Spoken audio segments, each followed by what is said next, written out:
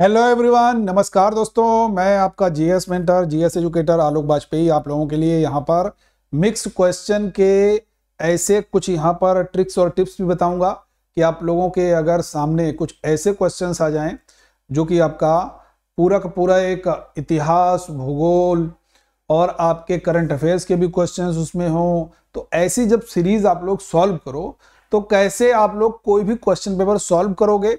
और before the examination आपको क्या करना है? कम से कम 15 से 20 दिन, एक महीना आपको अधिक से अधिक क्वेश्चन लगाने हैं। अब देखिए, जितने भी मध्य प्रदेश के एग्ज़ाम हैं, चाहे वो पटवारी का एग्ज़ाम हो या वो आपका जेल प्रहरी का एग्ज़ाम है, या उत्तर प्रदेश में जो lower subordinate UP triple SC का एग्ज़ाम है यूपी पीसीएस का एग्ज़ाम है, या उत्तर प्रदेश लोअर पीसीएस का एग्ज़ाम है, इन सारे एग्ज़ाम्स के लिए मैं कुछ क्वेश्चंस आपके सामने यहाँ पर डेली बेसिस पर यहाँ पर करा रहा हूँ। ठीक है भाई? तो सबसे पहले तो जितने भी विद्यार्थी हमारे साथ यहाँ पर जुड़ रहे हैं, सभी लोग एक बार तेज़ी से, फटाफट से एक बार सारे विद्यार्थी सेशन को भाई शेयर कर दीजिएगा। फटाफट से एक बार सभी के सभी विद्यार्थी सेशन को शेयर कीजिएगा। और यहाँ पर आप लोग देख सकते हो कि बेहतरीन तरीके से आप लोग अन अकेडमी लर्नर ऐप पर भी मेरे साथ आप लोग जुड़ सकते हो। जब आप अन अकेडमी लर्नर ऐप पर मेरे साथ जुड़ोगे तो निश्चित रूप से आप लोगों को यहाँ पर अगर अन अकेडमी लर्नर ऐप नहीं डाउनलोड किया तो फटाफट डाउनलोड कीजिए और मेरा कोड लगाइए और फ्री क्लासेस को यहाँ पर कर सकते हो पेड क्लासेस को भी कर सकते हो। लर्नर ऐप डाउनलोड करने का तरीका क्या है? प्ले स्टोर पर जाइए अन अकेडमी लर्नर ऐप डाउनलोड कीजिए और अपना क्या करना है फ़ोन नंबर डालना है, जो मोबाइल नंबर है, उससे वेरीफाई करना है। अपनी जो कैटेगरी है, इसमें यूपीपीएससी कैटेगरी को सिलेक्ट करना है और हिंदी इंग्लिश जो भी मीडियम है, उसको सिलेक्ट करके नेक्स्ट कर देना है भैया यहाँ पर क्लासेज आप लोगों को करना स्टार्ट कर देना। ठीक है? ये सारे के सारे एडवांटेज आपको अकेडमी की तरफ़ से मिल रहे हैं। आर ओ एग्ज़ाम का एक बैच अभी आठ दिसंबर से शुरू हुआ है। जो भी विद्यार्थी सब्सक्रिप्शन लेना चाहता है, हमारा रेफरल कोड लगाए ए बी सर दस और फटाफट से सब्सक्रिप्शन प्राप्त कर सकता है। 179 179 में आपको सिक्स मंथ के लिए अन अकेडमी लाइट ये मिल रहा है, जिसमें 24 plus full length sectional test series रहेगी प्रीवियस ईयर क्वेश्चन के साथ। चैप्टर वाइज प्रैक्टिस क्वेश्चन रहेंगे वो सारे के सारे टॉप एजुकेटर्स के द्वारा टेस्ट बनाए गए हैं तो यहाँ पर भी आप लोग इसका लाभ ले सकते हैं। पहला क्वेश्चन है who is known as the national guru या राष्ट्र गुरु के नाम से किसे जानते हैं? फटाफट से आंसर कीजिए भाई। तेज़ी से राष्ट्र गुरु के नाम से किसे जाना जाता है? सही उत्तर क्या होगा? राष्ट्र गुरु के नाम से किसको जानते हैं? सही उत्तर क्या होगा? तेज़ी भैया शेयर सारे लोग कर देंगे। देखो भाई विकल्प दिए गए हैं बाल गंगाधर तिलक, गोपाल कृष्ण गोखले सुरेंद्र नाथ बनर्जी दादा भाई नोरेजी। सभी विकल्प बड़े इंपॉर्टेंट हैं और इन सभी पर्सनालिटी से बहुत सारे क्वेश्चंस बनते हैं। ऐतिहासिक दृष्टिकोण से भी क्वेश्चन बनते हैं और भी आपके यहाँ पर क्वेश्चन बनते ही बनते हैं। तो ध्यान देना है, बाल गंगाधर तिलक की जब भी कभी आपसे बातचीत की जाएगी तो बाल गंगाधर तिलक की जब भी बातचीत करते हैं तो तिलक को एक जो रचना है गीता रहस्य, ये ज़रूर याद रखना है बाल गंगाधर तिलक की। तिलक की बात करेंगे, इनको लोकमान्य कहते हैं। लोकमान्य कहते हैं। होम रूल लीग में जो इंडियन होम रूल लीग है, उससे जुड़े हुए Tilak. All India home rule league मत लगाना। All India home rule league से एनी बेसेंट जुड़ी हुई थी। Tilak Indian home rule league से जुड़े हुए थे। कैसे हो भाई मोनिका चौधरी? स्वागत है आपका गुड इवनिंग शेयर कर दो बच्चे, ताकि अधिक से अधिक विद्यार्थी हमारे साथ यहाँ पर जुड़ पाए। गोपाल कृष्ण गोखले 1905 में कांग्रेस के बनारस अधिवेशन के अध्यक्ष रहते हैं। और सुरेंद्र नाथ बनर्जी जो है, इनको हम लोग राष्ट्रगुरु कहते हैं। सुरेंद्र नाथ बनर्जी 7 अगस्त 1905 को जो स्वदेशी आंदोलन हुआ है, भारत छोड़ो आंदोलन नहीं, बंगाल विभाजन के विरोध में, वो इनके द्वारा शुरू किया गया था। ये पॉइंट आपको क्लियर होना चाहिए भाई, ठीक है? दादा भाई नरोजी के बारे में पूछा जाए, इनको grand old man of India कहते हैं। क्या कहते हैं? Grand old man of India question number next है। Who can be appointed as the chairman of national human right commission राष्ट्रीय मानवाधिकार आयोग के अध्यक्ष के रूप में किसे नियुक्त किया जा सकता है? राष्ट्रीय मानवाधिकार आयोग के अध्यक्ष के रूप में किसे नियुक्त किया जा सकता है? एनी सिटिंग जज of the supreme court any retired chief justice of the supreme court any person appointed by the president retired chief justice of any high court what will be the correct answer फटाफट से answer करोगे भाई, प्यारे विद्यार्थियों, देखो भैया, याद रखना है, राष्ट्रीय मानवाधिकार आयोग के अध्यक्ष के रूप में किसे नियुक्त किया जा सकता है? तो याद रखना है भाई, कह रहे हैं प्रेसिडेंट द्वारा कोई भी व्यक्ति, बहुत बढ़िया, इन्होंने जवाब दिया प्रेसिडेंट द्वारा कोई भी व्यक्ति कहाँ पर गया ये? ज़ीरो अंडा मिलेगा अगर ये लगा के आओगी। मोनिका, ज़ीरो अंडा मिलेगा अगर ये लगा दिया। गलत है भाई सीधा सा मैंने बीसियों बार बताया है एनएचआरसी का जो चेयरमैन होता है, वो हमेशा रिटायर्ड सीजेआई होता है retired chief justice of India एक बार में याद रखिए, ठीक है ना? Retired chief justice of India होता है हमेशा एनएचआरसी का चेयरमैन ह्यूमन राइट डे अभी हाल ही में हम लोगों ने मनाया था 10 दिसंबर को। यह भी आप लोगों को याद होना चाहिए। तो बिल्कुल गड़बड़ नहीं करना है। बिल्कुल भी गड़बड़ नहीं करना है। मोस्ट इंपॉर्टेंट है क्वेश्चन ठीक है? क्लियर है? चलिए क्वेश्चन नंबर नेक्स्ट है। The college of defence management is located at which of the following places Bharat में निम्नलिखित में से किस स्थान पर कॉलेज ऑफ़ डिफेंस मैनेजमेंट स्थित है? सिकंदराबाद, हैदराबाद, देहरादून या Mussoorie? College of defence management जो है, ये कहाँ पर स्थित है? क्या आंसर होना चाहिए? देखो भाई कॉलेज ऑफ़ डिफेंस मैनेजमेंट की अगर कभी भी बात करते हैं तो कॉलेज ऑफ़ डिफेंस मैनेजमेंट जो है, ये आपका सिकंदराबाद हो जाएगा। ठीक है? याद रखना है। हैदराबाद कौन सी नदी किनारे है? मूसी। और इसको हाईटेक सिटी के नाम से भी जानते हैं। हैदराबाद को हम लोग हाईटेक सिटी के नाम से भी प्यारे विद्यार्थियों जानते हैं। देहरादून की बात करते हैं, उत्तराखंड की कैपिटल है। देहरादून की बात करते हैं, इंडियन मिलिट्री एकेडमी है यहाँ पर। देहरादून की बात करते हैं राजा जी नेशनल पार्क है। देहरादून की बात करते हैं जॉली ग्रांट एयरपोर्ट है यहाँ पर, ठीक है क्लियर है? मसूरी को पहाड़ों की रानी कहा जाता है। क्या कहा जाता है? पहाड़ों की रानी और जो आईएएस का ट्रेनिंग सेंटर है, जिसको लाल बहादुर शास्त्री एडमिनिस्ट्रेटिव एकेडमी बोलते हैं, वो भी आपका मसूरी में ही स्थित है, याद रखना। ठीक है भाई, यहाँ तक कोई डाउट कोई भी डाउट है यहाँ तक, कोई भी दिक्कत है तो आप लोग क्वेश्चन पूछ सकते हो। कोई भी डाउट यहाँ तक नहीं होना चाहिए भाई। ठीक है भाई? कोई भी डाउट यहाँ तक किसी भी विद्यार्थी के मन में नहीं होना चाहिए, किसी भी विद्यार्थी के मन में। आगे बढ़ा जाए। चलिए, आगे बढ़ते हैं। नेक्स्ट क्वेश्चन है। National Panchayati Raj day celebrated on which date जो राष्ट्रीय पंचायती राज दिवस है, कब मनाते हैं? देखो, दिवस वाले क्वेश्चन बहुत आते हैं। कुछ दिवस याद रखिएगा, जैसे सात अगस्त, राष्ट्रीय हथकरघा दिवस और राष्ट्रीय भाला फेंक दिवस, दोनों मनाते हैं सात अगस्त को। अंतरराष्ट्रीय परिवार दिवस बहुत पूछा गया अभी हाल ही में एग्ज़ाम में। पंद्रह मई को, ठीक है? ये भी आपको याद रखना है। दूसरा, एक दिवस अभी हाल ही में बनाया गया भाषा दिवस। बताओगे कमेंट सेक्शन में? बिल्कुल। बढ़िया है ना? चलिए, इसका आंसर हो जाएगा 24 अप्रैल। बिल्कुल सही है। याद रखना है, ठीक है? आगे बढ़ते हैं। नेक्स्ट क्वेश्चन है। Canal system is related to which dynasty. जो नहर प्रणाली है, ये किस वंश से संबंधित है? गुलाम, यानी कि स्लेव डायनेस्टी, या खिलजी, या तुगलक, या लोधी क्या आंसर होगा? देखो जब भी इतिहास पढ़ते हैं तो हम लोग कहते हैं दिल्ली सल्तनत। कहते हैं दिल्ली सल्तनत में आ, क्या कहते हैं दिल्ली सल्तनत में? दूसरा लिखते हैं गुलाब खिले गुलाब खिले तो सांस लो। कहते ना तो सांस लो। गुलाब से गुलाम वंश खिले से खिलजी वंश तो से तुगलक वंश सांस से सैयद वंश लो से लोधी वंश। ये कहते हैं ना हम लोग। ठीक है सीक्वेंस में वंश। सबसे अधिक समय तक तुगलक वंश ने चौरानवे साल शासन किया है। ठीक है? और इसके जो संस्थापक थे, गयासुद्दीन तुगलक, उनको फादर ऑफ़ कैनाल सिस्टम भी कहते हैं। जो नहरों की जो खुदाई थी, वो सबसे पहले गयासुद्दीन तुगलक साहब ने करवाई। बाद में उस प्रोग्राम को मोहम्मद बिन तुगलक ने आगे बढ़ाया। फिरोज तुगलक ने और भी नई नहरें खुदवाई, लेकिन फिरोज शाह तुगलक ने कहा, सारे कर्षक भैया, आप लोग भी इस नहरों से सिंचाई कर सकते हो। और लेकिन बदले में आपको एक सिंचाई कर देना पड़ेगा, वो सिंचाई कर हक ए सर्व, जो सिंचाई कर हक ए सर्व था, वो एफ़ फिरोज शाह तुगलक लेकर के आए थे। मेरी बात समझ में आ गई? स्पेसिफिक पूछा जाए father of canal system the answer will be Ghiyasuddin Tughlaq अगर पूछा जाएगा who impose the irrigation tax the answer will be Firoz Shah Tughlaq. Clear है? यहाँ तक कोई डाउट तो नहीं भाई? चलिए, आगे बढ़ते हैं। Next question which constitution amendment included Sindhi as the eight language देखो एज नहीं in eight schedule in eight schedule कर देते हैं। ठीक है? तब बताओगे। आठवीं अनुसूची में सिंधी को जो है वो जोड़ा गया आठवीं अनुसूची में। अनुसूची में जोड़ा गया किस संविधान संशोधन से? तो याद रखना है, इसका आंसर हो जाएगा इक्कीसवें संविधान संशोधन से। कैसे? समझिए। देखो भाई, इक्कीसवें से सिंधी इकहत्तर संविधान संशोधन से कोकड़ी मणिपुरी और नेपाली, ये सब इकहत्तर से।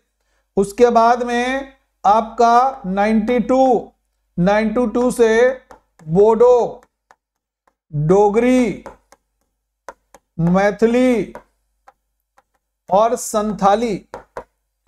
ये आपकी प्यारे विद्यार्थियों बानवे से ठीक है? और 69 से दिल्ली को एनसीआर बनाया गया था ये सभी लोगों को क्लियर हुआ ही होगा। मैंने कई बार चर्चा में करता हूँ विकल्पों की उसके दौरान आपके बहुत सारे प्रश्न तैयार हो जाते हैं। In which session of the Indian national congress was the flag of India accepted Bharat के ध्वज को कांग्रेस के किस अधिवेशन में स्वीकार किया गया? 1909, 1929, 1931 या 1916 बोलिए भाई, फटाफट आंसर कीजिएगा। सारे के सारे विद्यार्थी तेज़ी से क्या करेक्ट आंसर हो जाएगा? देखो भैया, बड़ा ज़बरदस्त सवाल है। भारत के ध्वज को कांग्रेस के किस अधिवेशन में स्वीकार किया गया? 1931 को कराची अधिवेशन में, जिसके अध्यक्ष थे वल्लभ भाई पटेल। इसी अधिवेशन में गांधी जी ने कहा था, गांधी मर सकता है, लेकिन गांधीवाद कभी भी नहीं मरेगा। गांधीवाद नहीं मर सकता ठीक है? पटेल साहब इस अधिवेशन के अध्यक्ष थे। 1916 का अधिवेशन भी बड़ा महत्वपूर्ण है। लखनऊ में हुआ था। अंबिका चरण मजूमदार अध्यक्ष थे। इसको लखनऊ समझौते के रूप में भी जानते हैं। उन्नीस में पंडित जवाहरलाल नेहरू पहली बार कांग्रेस के अध्यक्ष बनते हैं और ये लाहौर में होता है उन्नीस का। इसमें पूर्ण स्वराज का प्रस्ताव पारित होता है। This is also most important fact clear है? क्लियर है भाई? चलिए, कोई बात नहीं, यहाँ गलती कर दी, कोई दिक्कत नहीं, मोनिका।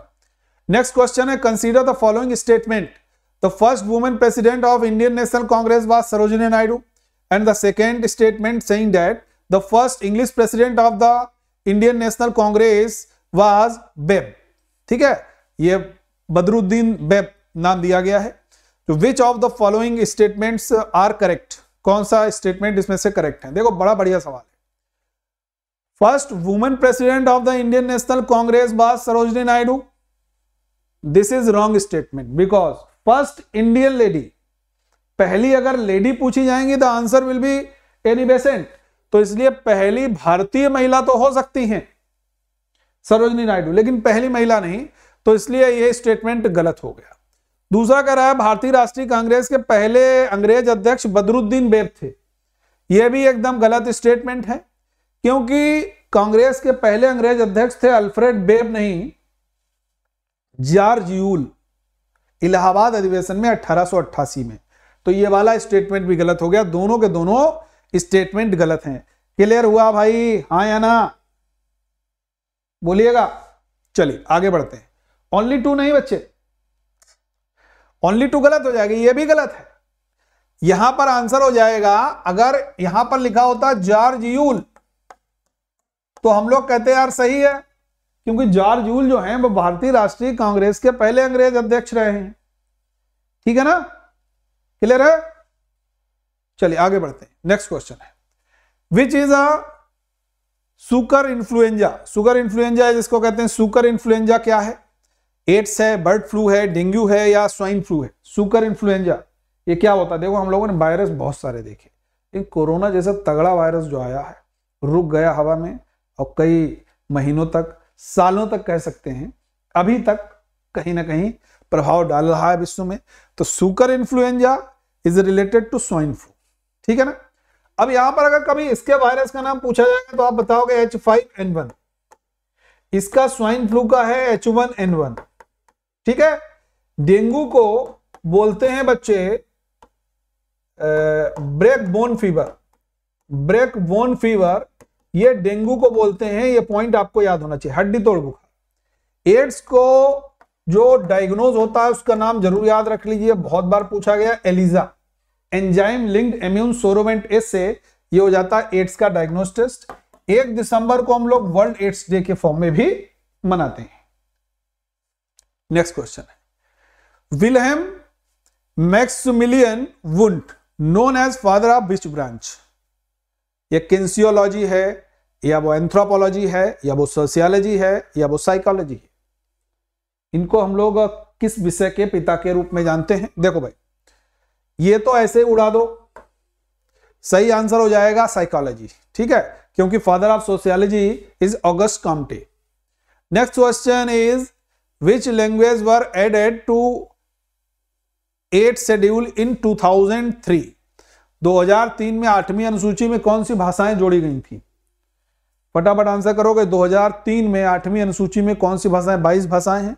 उनमें आपको बताना है कौन सी भाषाएँ भाई जोड़ी गई। क्या आंसर होगा? फटाफट से आंसर कीजिएगा। देखो भैया, बहुत बढ़िया सवाल है। और जो आठवीं अनुसूची में जो भाषाएँ जोड़ी गई हैं, वो आपकी हो जाती हैं वोडो और संथाली। क्योंकि मैंने भी बताया था 92 अमेंडमेंट से 2003 में हुआ है। मैंने बताया बोडो डोगरी, मैथिली और संथाली ये भाषाएँ जोड़ी गई। तो यहाँ पर कोकड़ी तो होगा नहीं, सिंधी तो होगा नहीं, संथाली सॉरी कोकड़ी तो होगा नहीं तो बचा क्या ये हो गया। ठीक है ना? नेक्स्ट क्वेश्चन है। Which are the second largest opium producing state in Bharat में दूसरा? सबसे बड़ा अफीम का उत्पादक राज्य कौन सा है? मध्य प्रदेश, उत्तर प्रदेश, राजस्थान या इनमें से कोई नहीं। Second largest opium producer state बताना है। बोलिए भाई, क्या आंसर होगा? फटाफट से आंसर करोगे। दूसरा सबसे बड़ा अफीम उत्पादक राज्य जो है, वो भैया राजस्थान हो जाता है। और राजस्थान भारत में क्षेत्रफल में नंबर वन स्टेट है। उत्तर प्रदेश की बात करें, लोकसभा, राज्यसभा, विधानसभा, विधान परिषद सीटें की सबसे अधिक संख्या उत्तर प्रदेश में है। मध्य प्रदेश की बात करते हैं, भारत का हृदय प्रदेश, भारत का हृदय स्थल कह सकते हो इसको, हम लोग जानते हैं। ठीक है भाई? चलिए, आगे बढ़ते हैं। फॉलिक एसिड फॉलिक एसिड भाई कौन सा होता है? V one V nine V twelve V seven देखो, मैंने हमेशा बताया है, जब भी विटामिन की बात आती है तो विटामिन में आपको बताना है, एक वाटर सोल्यूबल है, एक फैट सोल्यूबल है। वाटर सोल्यूबल में बी और सी का नाम आता है फैट सोल्यूबल में ए डी ई और के ये विटामिन होते हैं, ये फैट सोल्यूबल होते हैं, वसा में बिले और ये जल में बिले। ठीक है? अब बी कॉम्प्लेक्स के भाग पूछे जाए तो आठ हो जाते हैं। कैसे हो जाते हैं?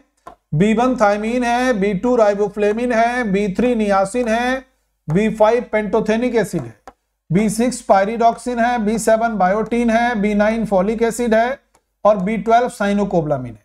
तो देखिए, चार ऊपर, चार नीचे तो टोटल जो हो गए, वो कितने हो गए भाई? आठ। क्लियर है ना? तो आठ भाग होते हैं बी कॉम्प्लेक्स के, folic acid, vitamin B nine है, cyanocobalamin is vitamin B twelve, क्योंकि इसमें कोबाल्ट होता है तो उसको हम लोग साइनोकोबलामिन के नाम से भी जानते हैं, and seven is biotin, clear है ना? चलिए, आगे बढ़ते हैं next question Shiv Nadar is related to Shiv Nadar का संबंध किससे Reliance, TCS S C L या इंफोसिस क्या आंसर हो जाएगा? बोलिए भाई, क्या आंसर होगा?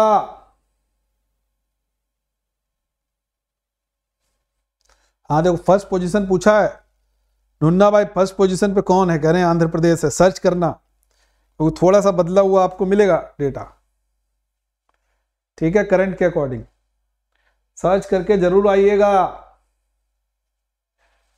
ठीक है, मोनिका चौधरी? इसका आंसर क्या होगा भाई? शिवनारार हो गया भाई, ये एचसीएल के हो गए। आगे बढ़ते हैं। Which of the following game and their number of players combination is not correct कौन सा खेल और खिलाड़ियों की संख्या का सही समूह नहीं है? देखो यार रट मारो यार, ऐसे याद करो। चार खिलाड़ी, पाँच खिलाड़ी, छह खिलाड़ी, सात खिलाड़ी, नौ खिलाड़ी, ग्यारह खिलाड़ी, पंद्रह खिलाड़ी। लिख दिए। चार खिलाड़ी पोलो में, पोलो।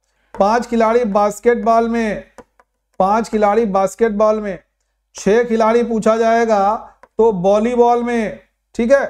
और छह खिलाड़ी पूछा जाएगा तो आप कहोगे आइस हॉकी में, सात खिलाड़ी पूछा जाएगा तो आप कहोगे वाटर पोलो में, सात खिलाड़ी पूछा जाएगा तो आप कहोगे कबड्डी में, सात खिलाड़ी अगर पूछा जाएगा तो आप कहोगे नेटबॉल में, ग्यारह, नौ खिलाड़ी पूछा जाएगा तो आप कहोगे बेसबॉल और खो खो में। ग्यारह खिलाड़ी, क्रिकेट है, फुटबॉल है, हॉकी है, ये सब होता है। पंद्रह रग्बी में होते हैं।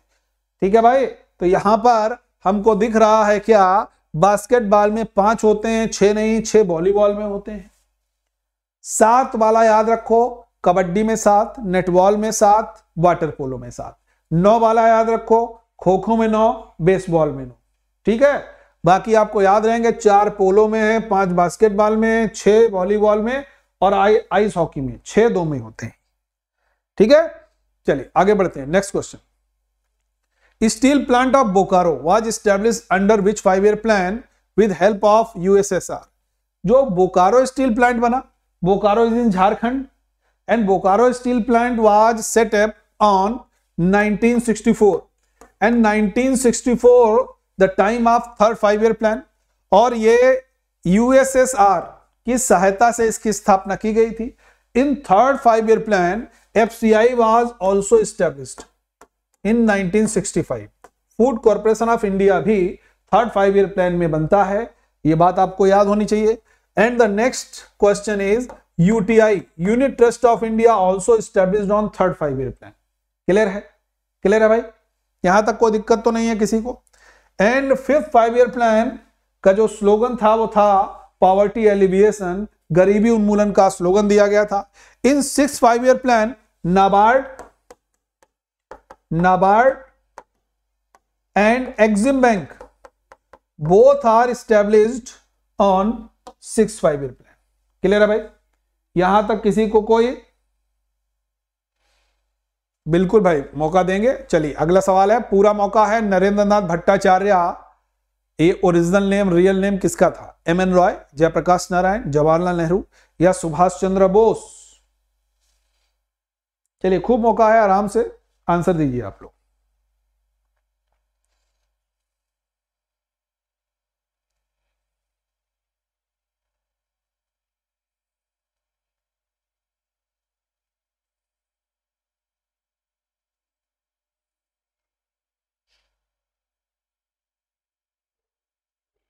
बोले भैया, आंसर कीजिए सारे लोग।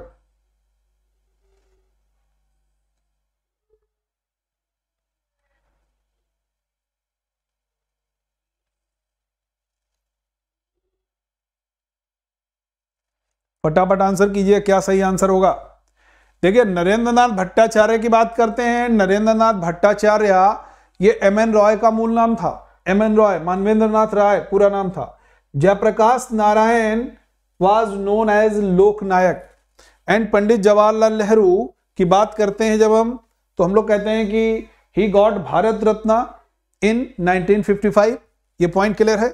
Subhash Chandra Bose known as Desh Nayak and Subhash Chandra Bose was the chairman of Indian National Congress in 1938 Haripura session and in 1939 in Tripuri session in दोनों सेशंस में सुभाष चंद्र बोस साहब जो है वो इंडियन नेशनल कांग्रेस के अध्यक्ष होते हैं, याद होना चाहिए। ठीक है? चलिए, अगले क्वेश्चन की तरफ़ हम लोग पढ़ते हैं। अगला क्वेश्चन है, भाई आंसर कीजिएगा।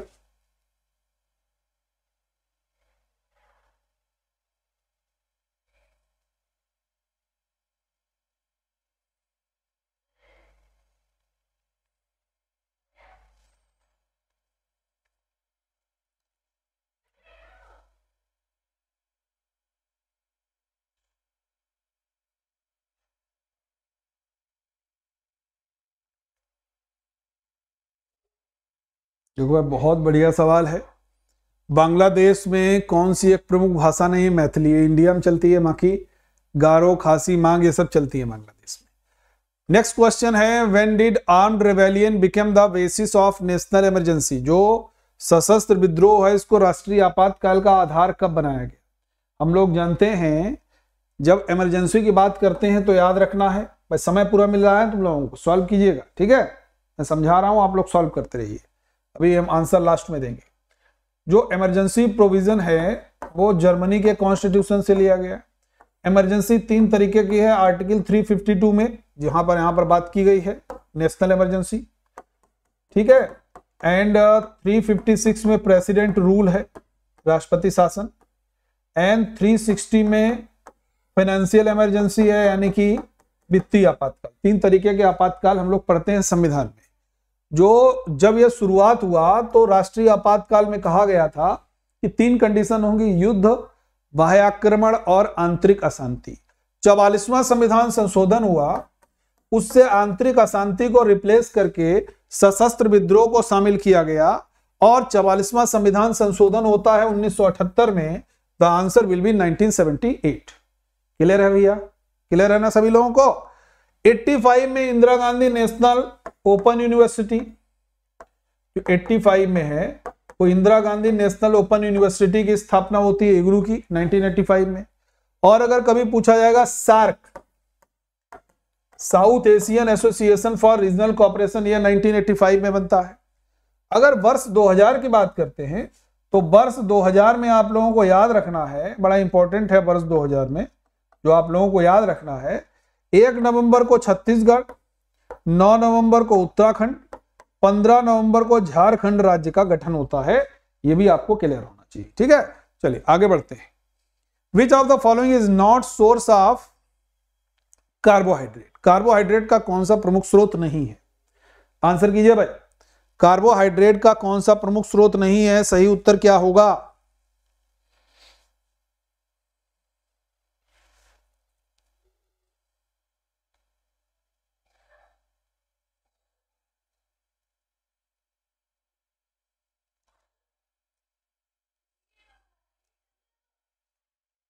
बोलिए। फटाफट आंसर कीजिए भाई।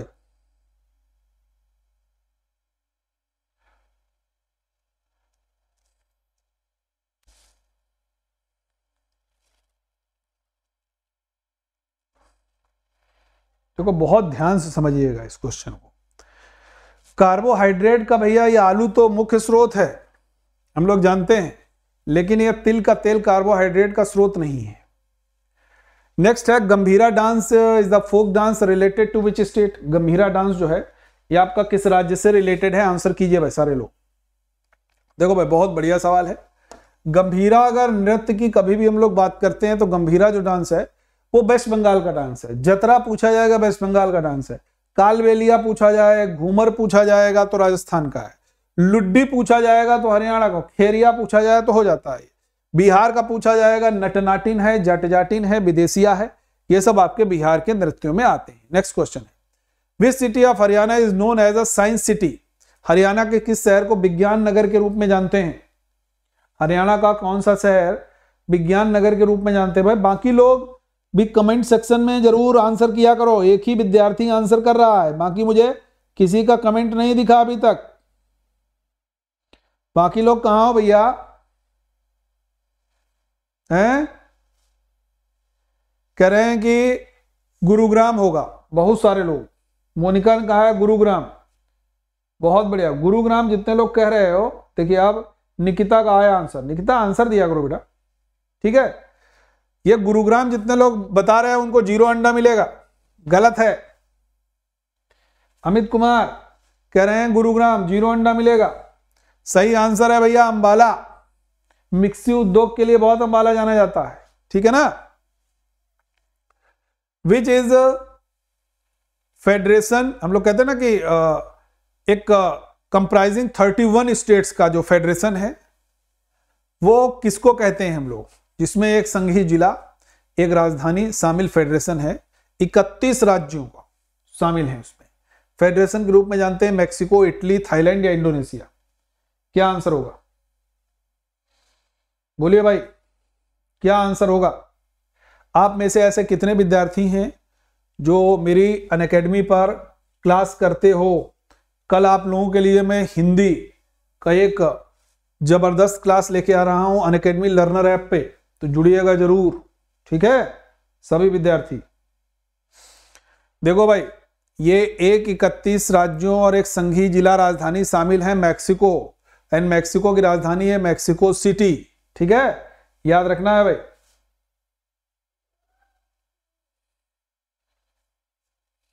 चलिए, आगे बोल क्या रहे गोल गोल अंडा पावे डंडा।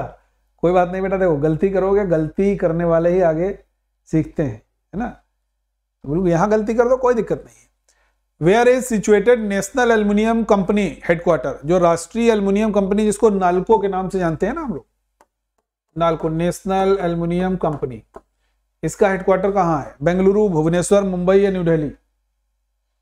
कहाँ पर है? बोलोगे निकिता? क्या आंसर होगा भाई? देखो भैया, ये जो नेशनल एल्यूमिनियम कंपनी है, ये आपका भुवनेश्वर में होगी, ठीक है? न्यू दिल्ली की बात करते हैं तो सिक्सटी नाइन्थ अमेंडमेंट से दिल्ली को एनसीआर बनाया गया था, ये पॉइंट भी आपको याद रखना। आगे बढ़ते हैं। Chernobyl nuclear disaster occurred in, जो चेरनोबिल परमाणु आपदा है, वो घटित हुई थी फ्रांस, रसिया, यूक्रेन या जापान। फटाफट आंसर करोगे। चेरनोबिल जो परमाणु आपदा है, ये घटित हुई थी फ्रांस, रसिया, यूक्रेन या जापान। बोलिए भाई, देखो, चेरनोबिल परमाणु आपदा जो है, ये घटित हुई थी, वो आपकी यूक्रेन, ठीक है? यूक्रेन में हुई थी। और वर्तमान समय में यूक्रेन जूझ रहा है, पूरा यूक्रेन ही बर्बाद कर दिया रसिया ने। शहर के शहर निस्त नबूद कर दिए हैं कह सकते हो कि वर्ल्ड मैप में जब हम बात करते हैं यूक्रेन की, हालाँकि अभी पर्सन ऑफ़ द ईयर भी हम लोग जानते हैं घोषित किया गया था, टाइम मैगजीन ने जेलेंस्की साहब को, क्योंकि उन्होंने डट करके अभी भी सामना कर रहे हैं। वो निडर कह सकते हैं, एक शासक हैं वहाँ पर। ठीक है? तो ये यूक्रेन की कैपिटल याद रखिएगा, कीव है और इसी देश ने भी अटैक किया है रसिया ने। सभी लोग जानते ही हैं, ठीक है? Dalli Rajhara iron ore area situated है। डल्ली राजहरा लोहस खान कहाँ स्थित है? उड़ीसा, झारखंड, कर्नाटका, छत्तीसगढ़। डल्ली राजहरा। हाँ हिंदी की क्लास मेरी कल होगी अन अकेडमी लर्नर ऐप पर। कितने बजे होगी? याद रखिएगा कल आप लोगों को 11 बजे अन अकेडमी लर्नर ऐप पर मेरी क्लास से जुड़ना है। ठीक है? कल सुबह 11 बजे आप लोग अन अकेडमी लर्नर ऐप पर मेरी क्लास से ज़रूर जुड़िए हिंदी की क्लास से। ठीक है? याद रहेगा सभी लोगों को? चलिए। डल्ली राजहरा लोहस खान जो है आपका छत्तीसगढ़ हो जाती है। डल्ली राजहरा लोहस खान आपकी छत्तीसगढ़ हो जाती है। अगला सवाल है the state of Awadh was annexed into British dominion in the year Awadh का अधिग्रहण कब हुआ? 1855, 1854, 1856 या अठारह देखो अठारह जो है ये आपकी बॉम्बे से थाने। ये ट्रेन चली ये हम लोग जानते हैं अठारह में पहली ट्रेन चली। अवध का अधिग्रहण माल एडमिनिस्ट्रेशन का आरोप लगा। कुशासन का आरोप लगाया और अवध को अधिग्रहित कर लिया गया। अठारह में शिक्षा का एक एक्ट आता है। उस शिक्षा के एक्ट को हम लोग वुड डिस्पैच एक्ट बोलते हैं। क्या बोलते हैं? वुड डिस्पैच कानून बोलते हैं। हाँ यूपीपीएससी कैटेगरी में। ठीक है? बिल्कुल हिंदी क्लास यूपीपीएससी कैटेगरी में होगी। राज्यसभा का पहला सत्र कब हुआ था? 1950, 1951, 1952 या 1955 राज्यसभा का जो पहला सत्र है यह आपका कब हुआ था? 1950, 1951, 1952 या 1955 बोलिएगा भाई राज्यसभा का पहला सत्र जो है ये कब हुआ था? क्या सही उत्तर होगा? देखो भाई राज्यसभा का पहला सत्र हुआ है उन्नीस सौ बावन में। राज्यसभा उच्च सदन है आर्टिकल नंबर 80 में है। स्थायी सदन कहा जाता है उच्च सदन कहा जाता है हम लोग जानते हैं। पहला सत्र उन्नीस सौ बावन में हुआ है। 15 मार्च 1950 को प्लानिंग कमीशन बना है। उन्नीस सौ इक्यावन में पहली पंचवर्षीय योजना शुरू हुई। 1955 में स्टेट बैंक ऑफ़ इंडिया बना और उन्नीस सौ बावन में 6 अगस्त को, उन्नीस सौ बावन को राष्ट्रीय विकास परिषद भी स्थापित हुआ था। याद रखना है, ठीक है? चलिए आगे बढ़ते हैं। Which of the following gland is a source of the enzyme ptyalin फटाफट आंसर करोगे। कौन सी ग्रंथ टाइलिन का एक प्रमुख स्रोत है? पेंक्रियाज थायराइड पिट्यूटरी या स्लेवरी ग्लैंड क्या आंसर होगा भाई? देखिए, बड़ा ज़बरदस्त क्वेश्चन है भाई। बहुत ज़बरदस्त क्वेश्चन है। ये जो कौन सी ग्रंथ टाइलिन एंजाइम का एक प्रमुख स्रोत है? Salivary gland basically salivary glands होती हैं तीन पेयर में हमारे पास, हमारे शरीर में। एक होता है सबलिंगुअल दूसरा मैग्जिवल तीसरा होता है पैरोटिड जब भी पैरोटिड में स्वेलिंग होती है तो हम लोग कहते हैं इस व्यक्ति को गलसुआ हो गया, यानी कि मम्स हो गया। कहते ना?